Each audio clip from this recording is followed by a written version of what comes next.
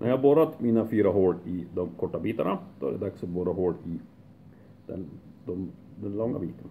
Och då borrar jag två hål i på varje sida efter min markering. När jag ska borra i den långa biten, då använder jag mig av den här skyddsbrädan. Och den sätter jag fast i skruvstycket. Sätter fast den där, så. och drar skruvar jag fast den. Där ja. Nästa steg är att markera borrdjupet på sidan här. Och här är det ganska lagom att ställa in borrdjupet på 8 mm ungefär. Ställt in strykmåttet på 8 mm.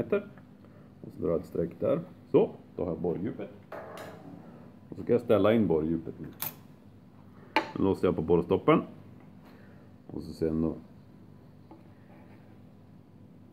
trycker jag ner borren och så kollar jag så att jag har fått det djup jag vill ha. Nu är jag nere på rätt djup. Då skruvar jag fast borrstoppen. Sådär ja. Nu. Den måste stanna på rätt ställe. Sådär. Då är det dags att borra. Jag viker för sjunkskyddet. Och så sen håller jag i så ovanpå brädan med handen. Sätt inte tummen sådär. Råkar den fastna då kan man göra det eller ordentligt. Håll handen bara rakt på sådär. Eh, och så sätter jag så att jag får borren på rätt ställe. Och det ser man enklast med spetsen i markeringen. Ja, den på rätt ställe. Jag startar borrmaskinen.